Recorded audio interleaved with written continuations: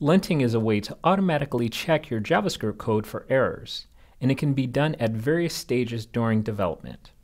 Via your editor, your build process, or your pre-commit hook and version control. There's not always a right or wrong way in linting.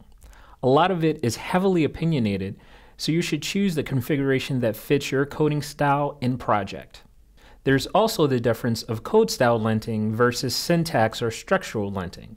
Syntax or structural linting is what most people refer to when they say linting. These rules check for JavaScript anti-patterns such as unreachable statements or forgetting to do a strict comparison against null.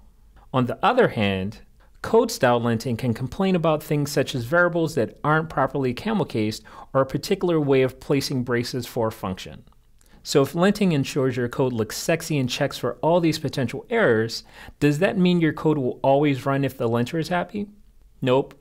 The linter only checks for potential errors.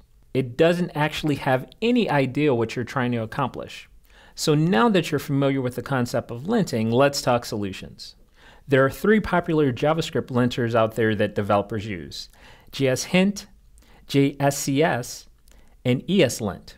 You'll find a link in the notes that details the differences, but to cut it short, we'll stick with ESLint as it supports modern ES6 code, can be extended, and has output that's really easy to understand.